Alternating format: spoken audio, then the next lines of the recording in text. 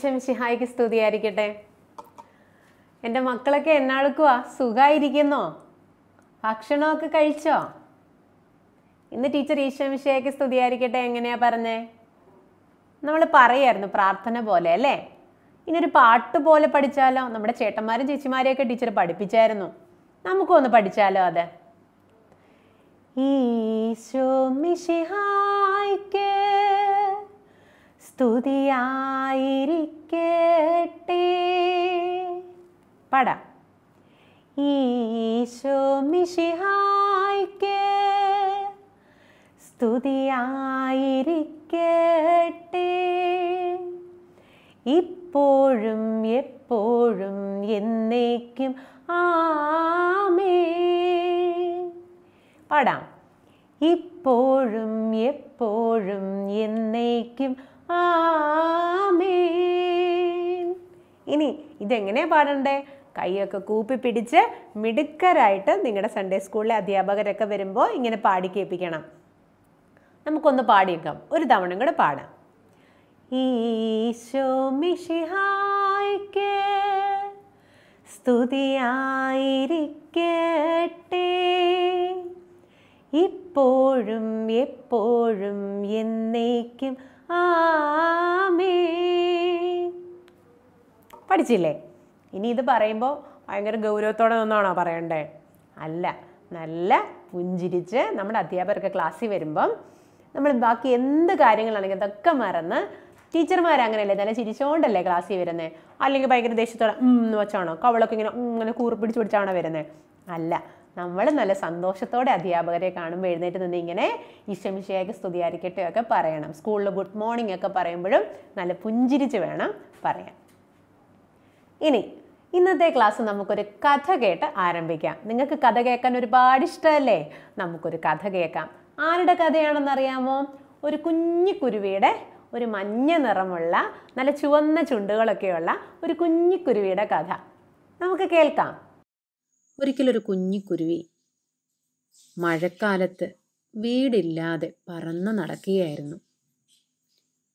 പറന്നു പറന്ന് അവനൊരു നെല്ലിമരത്തിന്റെ ചോട്ടിലെത്തി. ചോദിച്ചു നെല്ലിമരമേ നെല്ലിമരമേ എനിക്ക് ഈ മഴക്കാലത്ത് നിന്റെ ഒരു ശാഖ വീട് കൂട്ടാൻ എനിക്കൊരു കൂട് കൂട്ടാൻ ഒരല്പം സ്ഥലം തരുമോ? നെല്ലിമരം പറഞ്ഞു ഇല്ല ഇല്ല പൊക്കോ പൊക്കോ. കുഞ്ഞിക്കുരുവിക്ക് സങ്കടമായി. വീണ്ടും അവൾ പറന്നു പറന്ന് ഒരു പ്ലാവിന്റെ മുൻപിലെത്തി. പ്ലാവുമരമേ എനിക്ക് കൂടുകൂട്ടാൻ ഒരല്പം സ്ഥലം തരാമോ? പ്ലാവ് പറഞ്ഞു വിട്ടോ വിട്ടോ സ്റ്റാൻഡ് വിട്ടോ ഇവിടെങ്ങും ഇടയില്ല. കുഞ്ഞിക്കുരുവിക്ക് സങ്കടമായി. അവൾ വീണ്ടും പറന്നു. പറന്നു പറന്ന് ഒരു തേക്കുമരത്തിന്റെ ചോട്ടിലെത്തി. തേക്കുമരമേ തേക്കുമരമേ നീ എത്ര ശക്തനാണ്? ഈ വർഷകാലത്ത് ഈ മഴക്കാലത്ത് കൂടുകൂട്ടാൻ എനിക്കൊരല്പം സ്ഥലം തരാമോ? തേക്കുമരം പറഞ്ഞു ഇല്ല പൊക്കോ പൊക്കോ. കുഞ്ഞിക്കുരുവിക്ക് ഒരുപാട് സങ്കടമായി. അവൾ കരഞ്ഞ് കരഞ്ഞ് അവശയായി ഒരു വാഴച്ചെടിയുടെ ചോട്ടിലെത്തി. വാഴച്ചെടി വാഴച്ചെടി എനിക്ക് ഈ മഴക്കാലത്ത് കൂടുകൂട്ടാൻ അല്പം സ്ഥലം തരാമോ? കുഞ്ഞിക്കുരുവി കരഞ്ഞപേക്ഷിച്ചു വാഴമരം പറഞ്ഞു അതിനെന്തിനാ നീ കരയുന്നേ? വാ ഇവിടെ കൂട് കൂട്ടിക്കോ.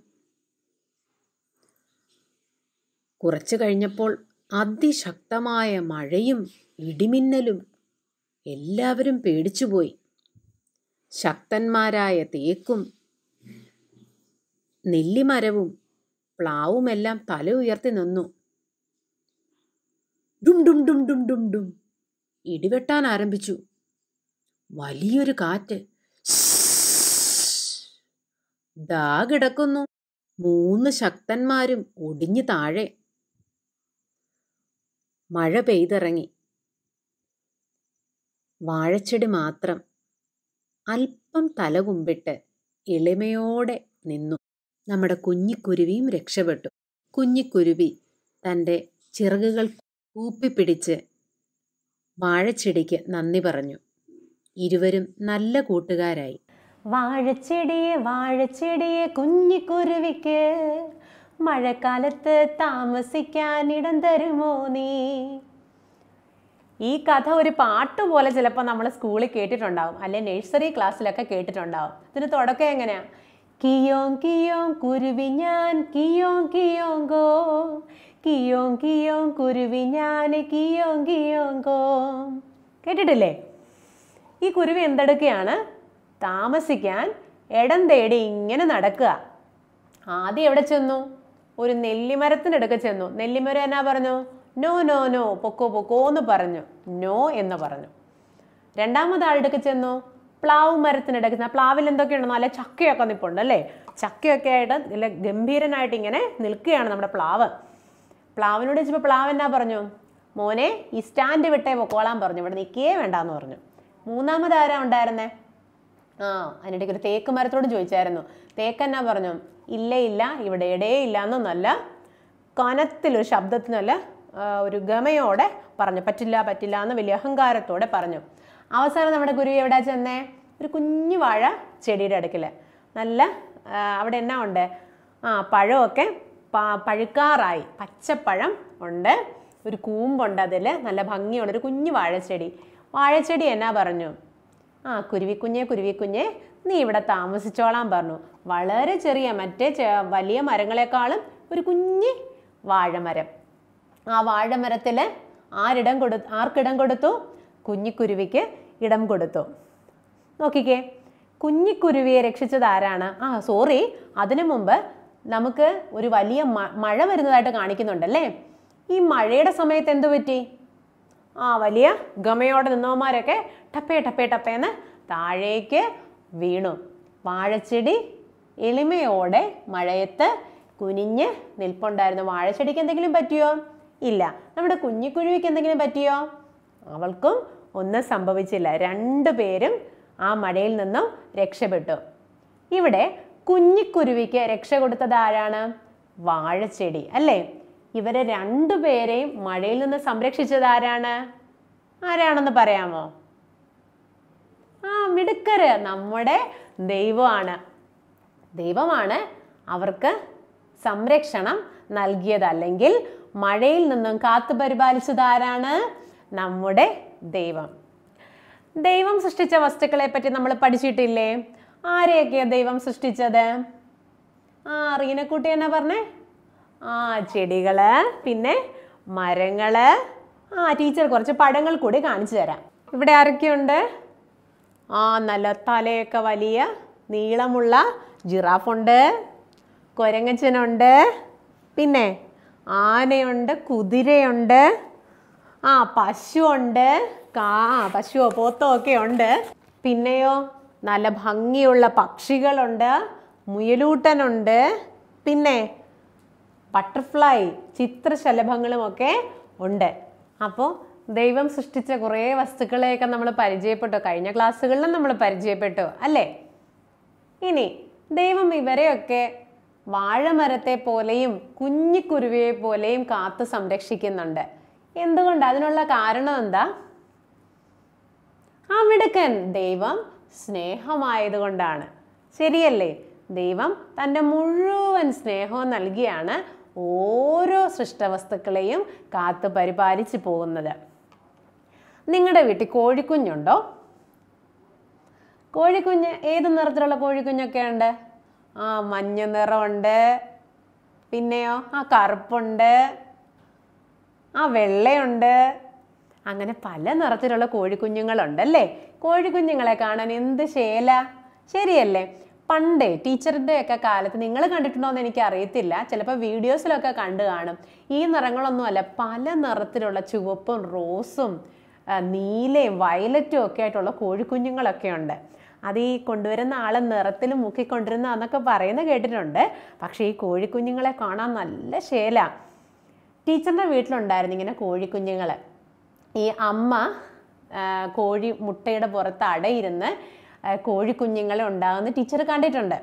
ഈ കോഴിക്കുഞ്ഞുങ്ങൾ ആദ്യ സമയത്ത് നമ്മൾ കാണുമ്പോഴേ ഇവരുടെ കണ്ണൊക്കെ എഴുതിയ പോലെ തോന്നും. നല്ല കൺമശി വെച്ച് നമ്മുടെ കുഞ്ഞുങ്ങളുടെയൊക്കെ കണ്ണെഴുതുന്ന പോലെ നല്ല ഭംഗിയുള്ള കണ്ണുകളാണ് നമ്മുടെ കോഴിക്കുഞ്ഞിനുള്ളത്. അപ്പം ഞാൻ എന്റെ വല്യമ്മച്ചിയാണ് ഈ കോഴിക്കുഞ്ഞിനെയൊക്കെ വളർത്തിക്കൊണ്ടിരുന്നത്. അപ്പോൾ വല്യമ്മച്ചിയോട് ചോദിക്കാം അമ്മച്ചി ഈ കോഴിക്കുഞ്ഞിന്റെ കണ്ണ് കണ്ടോ? എന്ത് ശേല? കണ്ണ് എഴുതിയ പോലെയാണല്ലോ ഇരിക്കുന്നതെന്ന്. അപ്പോൾ അമ്മച്ചി പറഞ്ഞു തരും ഈ തള്ളക്കോഴി ഉണ്ടല്ലോ അമ്മക്കോഴി. നമ്മുടെ അമ്മയൊക്കെ കണ്ണെഴുതുന്ന പോലെ ഈ തള്ളക്കോഴിയുടെ ചിറക് വെച്ച് ഈ കണ്ണ് എഴുതിക്കുന്നതാണെന്നൊക്കെ വല്യമ്മച്ചി പറഞ്ഞു തന്നിട്ടുണ്ട്. നല്ല ശേല അവരുടെ കണ്ണ് കാണാൻ. ഇനി ഈ കോഴിക്കുഞ്ഞുങ്ങളെ നമ്മളൊന്ന് പിടിക്കാൻ ചെന്നേ. തള്ളക്കോഴി സമ്മതിക്കോ? ഇങ്ങനെ കുത്തു കുത്തെന്ന് പറഞ്ഞുകൊണ്ട് തന്റെ ചുണ്ടുമായിട്ട് നമ്മുടെ അടുക്കിലേക്ക് വരും. പേടിയാ. തള്ളക്കോഴി അപ്പോൾ കണ്ട ഭയങ്കര പേടിയാ.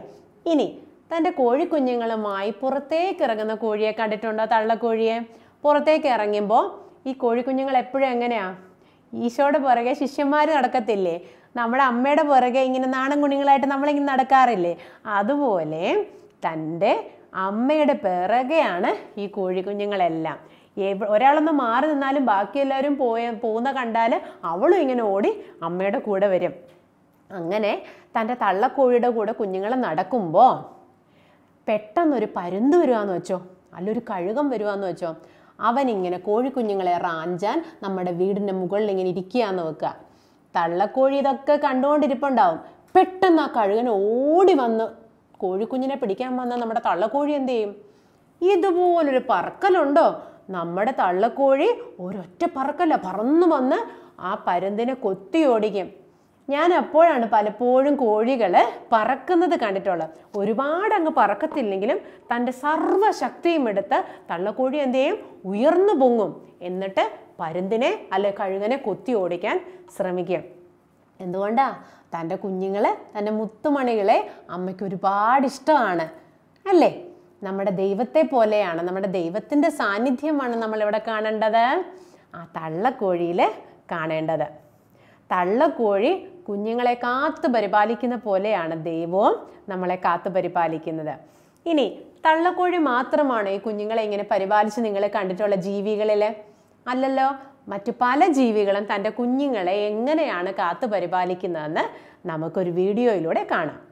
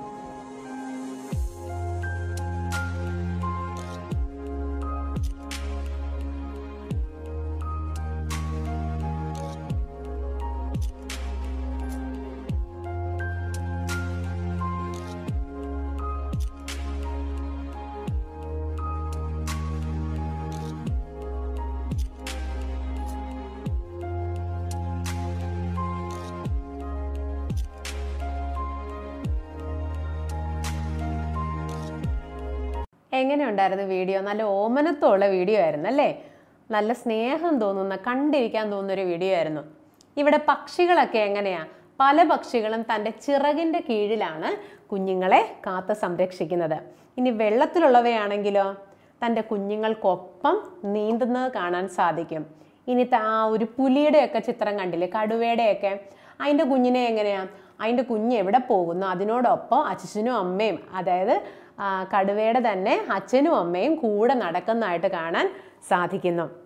അപ്പോൾ തങ്ങളുടെ സ്നേഹം ആ ചെറുപ്പകാലം മുതലേ തന്റെ കുഞ്ഞിന് നൽകിയാണ് ജീവികളെ മുന്നോട്ട് പോകുന്നത്.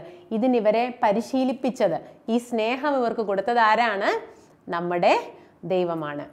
ഇനി ജീവികൾ തന്റെ കുഞ്ഞുങ്ങളെ ഇത്രത്തോളം കാത്തു പരിപാലിക്കുന്നുണ്ടെങ്കിൽ മനുഷ്യരെയും ദൈവം അതിനുള്ള കഴിവ് നൽകിയിട്ടുണ്ടാവും. ശരിയല്ലേ? നമ്മുടെ കാര്യം ഒന്നെടുത്തെ നമ്മൾ ജനിച്ചിപ്പോൾ ഒന്നാം ക്ലാസ്സിലായല്ലേ ഈ ഒന്നാം ക്ലാസ്സിലാകുന്നത് വരെ നമ്മൾ എങ്ങനെയായിരുന്നു? ആദ്യം തൊട്ടിൽ അമ്മയുടെ ഒപ്പം മാത്രം കിടക്കും പിന്നെ തൊട്ടിൽ കിടക്കും പിന്നെ നമ്മൾ കമന്ന് കിടക്കും പിന്നെ നീന്താൻ തുടങ്ങും. അങ്ങനെ പല സന്ദർഭങ്ങളും നമ്മുടെ ജീവിതത്തിലും ഉണ്ട്. ഒരു മനുഷ്യനായ നമ്മളെയും ദൈവം കാത്തു പരിപാലിക്കുന്നുണ്ട്. ആരിലൂടെയാണ്? നമ്മുടെ മാതാപിതാക്കളിലൂടെ. അല്ലേ? മാതാപിതാക്കളും വല്യപ്പച്ചനും വല്യമ്മയും ഒക്കെ നമ്മുടെ ജീവിതത്തിൽ ഒരുപാട് സ്വാധീനം ചെലുത്തുന്നുണ്ട്. ഇനി നമ്മളുടെ ജീവിതത്തിൽ നമ്മളെ ദൈവം കാത്തു പരിപാലിച്ചത് എങ്ങനെയായിരുന്നു? മാതാപിതാക്കളിലൂടെ നമ്മുടെ ജീവിതം മുന്നോട്ട് പോകുന്നത് എങ്ങനെയാണ് നമുക്കൊന്ന് കാണാം.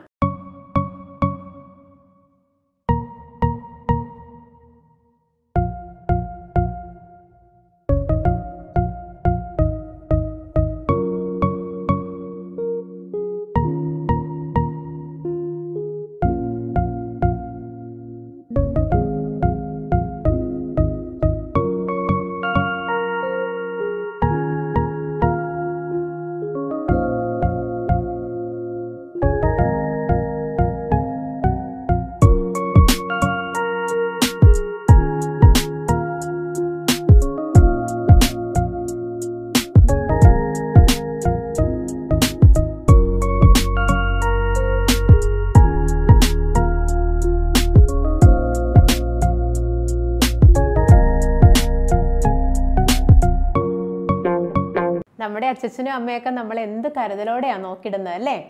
നമുക്കൊരു പാട്ട് പഠിച്ചാലോ ഇനി? എന്റെ ദൈവം എന്നെ പോറ്റിയിടുന്നു എന്റെ ദൈവം എന്നെ കാത്തിടുന്നു പഠിക്കാം. ഉറക്ക പാടണേ. എന്റെ ദൈവം എന്നെ പോറ്റിയിടുന്നു എന്റെ ദൈവം എന്നെ കാത്തിടുന്നു ഉറക്ക പാടാം ഒരിക്കൽ കൂടി പാടാം.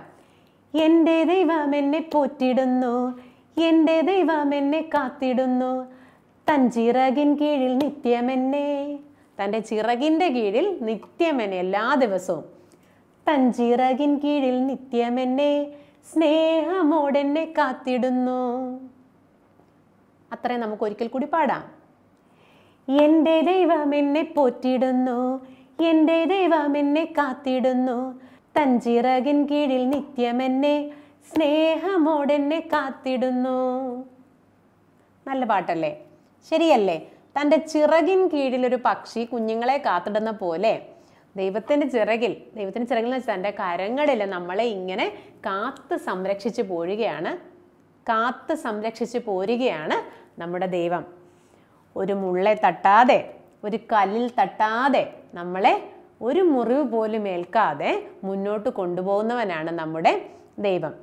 ഇങ്ങനെ മനുഷ്യരെയും മൃഗങ്ങളെയെല്ലാം ദൈവം കാത്തു സംരക്ഷിക്കുന്നത് എങ്ങനെയാണ്? ഒരു വീട്ടിലാണ്. ശരിയല്ലേ? നമുക്ക് താമസിക്കാൻ ദൈവം എന്താ തന്നിട്ടുണ്ട്? വീട് തന്നിട്ടുണ്ട്. ഇനി പക്ഷികൾക്കും മൃഗങ്ങൾക്കും ഒക്കെ എങ്ങനെ തന്നിട്ടുണ്ട്? കൂടും വീടും ഒക്കെ കൊടുത്തിട്ടുണ്ട്. നമുക്കൊന്ന് നോക്കിയാലോ നമ്മുടെ ടെക്സ്റ്റ് ബുക്കിൽ അങ്ങനെ ഒരു ആക്ടിവിറ്റി ഉണ്ട്. അതിനൊരു എക്സാമ്പിൾ ഒരു ഉദാഹരണം ടീച്ചർ ഇവിടെ കാണിക്കുന്നു. ആ ചിത്രത്തിൽ എന്താ കണ്ടത്? ഒരു ലൈൻ വെച്ച് ഒരു വരയിലൂടെ പക്ഷികളുടെയും മൃഗങ്ങളുടെയും വീട്ടിലേക്ക് അവരെ കൊണ്ടെത്തിക്കുകയാണ് ചെയ്തത് അല്ലേ?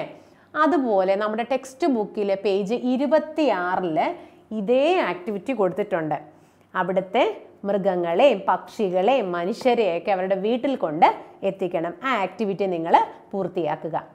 ഇനി നമ്മുടെ മാതാപിതാക്കളും നമ്മളെ പൊന്നു പോലെ വളർത്തുന്നു എന്ന് ടീച്ചർ പറഞ്ഞു. ശരിയല്ലേ? ഈ കാത്തു പരിപാലിക്കുമ്പോൾ നമ്മൾ ചില വഴക്കാളിത്തരങ്ങളൊക്കെ കാണിക്കാറുണ്ട്. കുഞ്ഞിലെ വാശി പിടിച്ച് കരയാറുണ്ടോ. ഇപ്പോഴും ഉണ്ട് വാശി പിടുത്തം. ശരിയല്ലേ? പിന്നെ നമ്മൾ അമ്മയോട് എതിർത്ത് സംസാരിക്കാറുണ്ട്. അച്ഛച്ചനോട് വഴക്കുണ്ടാക്കാറുണ്ട്. പക്ഷേ അല്പമൊക്കെ വഴക്കും അടിയൊക്കെ തന്നാലും ഇവർക്ക് നിങ്ങളോട് പരാതിയുണ്ടോ? ഇല്ല. പരാതി ഒന്നുമില്ലാതെ നമ്മളെ കാത്തു പരിപാലിച്ച് നമുക്ക് ആവശ്യമുള്ള വസ്ത്രവും നമുക്ക് ആവശ്യമുള്ള പേനയും ബുക്കും പെൻസിലും ഒക്കെ നമുക്ക് വാങ്ങിത്തരാറുണ്ട്. ഇങ്ങനെ പരാതിയൊന്നുമില്ലാതെ മുന്നോട്ട് പോകുവാൻ ദൈവം അവരിൽ എന്ത് നിറച്ചിരിക്കുന്നു? സ്നേഹം നിറച്ചിരിക്കുന്നു. അങ്ങനെ സ്നേഹമുള്ള വീടായിരിക്കണം നമ്മുടേത്. നമ്മുടെ ഓരോ പ്രവൃത്തിയും ദൈവസ്നേഹം നിറഞ്ഞതായിരിക്കണം. നമ്മൾ തിരിച്ച് മാതാപിതാക്കളോട് മറുപടി പറയുമ്പോഴും അവരോട് നമ്മൾ കാണിക്കേണ്ട പെരുമാറ്റ മര്യാദകളിലും ദൈവസ്നേഹം നിറഞ്ഞിരിക്കണം. നമ്മുടെ കാത്തു പരിപാലിക്കുന്ന ദൈവത്തിന് നമുക്ക് തിരിച്ചു കൊടുക്കാനുള്ള സമ്മാനം അതായിരിക്കണം. അങ്ങനെ സന്തോഷം നിറഞ്ഞുള്ള ജീവിതവും ദൈവത്തിന് നന്ദി പറഞ്ഞുള്ളതുമായിരിക്കണം നമ്മുടെ എല്ലാ പ്രവർത്തനങ്ങളും. അപ്പോൾ ഇന്നത്തെ ക്ലാസ്സിലൂടെ നമുക്ക് മനസ്സിലാക്കാം നമ്മളെ എല്ലാവരെയും ദൈവം കാത്തു പരിപാലിക്കുന്നു. നമ്മളെ കാത്തു പരിപാലിക്കാനായി ദൈവത്തിന്റെ തന്നെ സാന്നിധ്യം നിങ്ങൾ കേട്ടിട്ടുണ്ടോ എന്ന് അറിയത്തില്ല. നമ്മുടെ വിരലുകളൊക്കെ ഇങ്ങനെ ചേർന്നായിരിക്കുന്നു അല്ലേ മാതാപിതാ ഗുരു ദൈവം.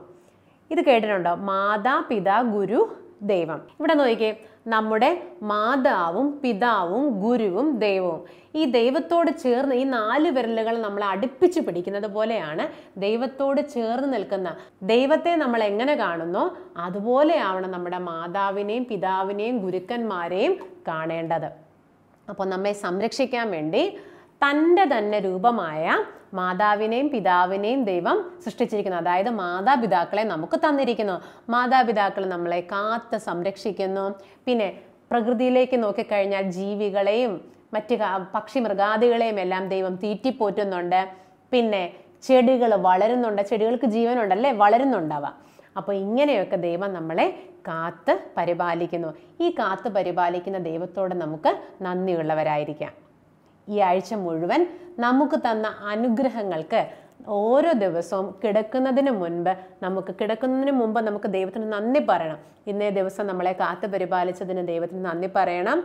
ഒപ്പം എഴുന്നേൽക്കുമ്പോൾ ദൈവമേ പാപത്തിലൊന്നും പെടാതെ നല്ല കുഞ്ഞായി ജീവിക്കുവാൻ നല്ല കുഞ്ഞായി ഇന്ന് ആയിരിക്കുവാൻ എന്നെ അനുഗ്രഹിക്കണമേ. എന്നെ കാത്തു പരിപാലിക്കണേ എന്ന് പ്രാർത്ഥിച്ച് ഓരോ ദിവസം ആരംഭിക്കാം. അടുത്ത ഞായറാഴ്ച വരുമ്പോൾ ടീച്ചർ ചോദിക്കും ഇങ്ങനെ ആയിരുന്നു ഓരോ ദിവസം എന്ന് അതിന് തയ്യാറെടുക്കുമ്പോൾ നിങ്ങൾ വർക്ക് ബുക്കിലെ പേജ് നമ്പർ പത്തൊൻപത് ഇരുപതിലെ ആക്ടിവിറ്റി ചെയ്യണം. നോക്കിക്കേ പത്തൊൻപതിലെ ആക്ടിവിറ്റി എന്താണ്? നമ്മുടെ ആ ഒരു പക്ഷി തന്റെ കുഞ്ഞുങ്ങളെ കാത്തു പരിപാലിക്കുന്ന ഒരു ചിത്രമാണ് നൽകിയിരിക്കുന്നത്. അതിനുശേഷം പറഞ്ഞിരിക്കുന്ന എന്താണ്? ദൈവം എല്ലാറ്റിനെയും കാത്തു പരിപാലിക്കുന്നു. ഇത് സംബന്ധിച്ചൊരു സ്ലൈഡാണ് ടീച്ചർ ഇപ്പോൾ ഇവിടെ കാണിക്കുന്നത്. നിങ്ങൾ ശ്രദ്ധിക്കുക. ആ സ്ലൈഡിൽ എന്ത് ഭംഗിയായിട്ടാണ് ആ വാക്യം എഴുതിയിരിക്കുന്നത്. നല്ല നിറമൊക്കെ നൽകിയാണ് എഴുതിയിരിക്കുന്നത്. അതുപോലെ നിങ്ങളുടെ വർക്ക് ബുക്കിലെ പേജ് ഇരുപതിലും ഈ ഒരു ആക്ടിവിറ്റി ഉണ്ട്. നല്ല ഭംഗിയാക്കി നിങ്ങൾ ഇതിന് നിറം കൊടുത്ത് ആക്ടിവിറ്റി പൂർത്തിയാക്കുക. ഓക്കെ റെഡിയല്ലേ നമുക്കൊന്ന് പ്രാർത്ഥിക്കാം. നല്ല ദൈവമേ ഒരു കല്ലോ മുള്ളോ എന്റെ കാലിൽ പെടാതെ അനുദിനം എന്നെ കാത്തു പരിപാലിക്കുന്ന എന്റെ നാഥ അങ്ങേക്ക് ഞാൻ നന്ദി പറയുന്നു. എന്നെയും ഈ പ്രപഞ്ചത്തിലെ ഓരോ വസ്തുക്കളെയും പൊന്നുപോലെ കാക്കുന്ന എന്റെ നാഥ അങ്ങേക്ക് ഒരായിരം നന്ദി അർപ്പിക്കുന്നതോടൊപ്പം അങ്ങയെ ഞാൻ ഒരുപാട് സ്നേഹിക്കുന്നു. ആമേൻ.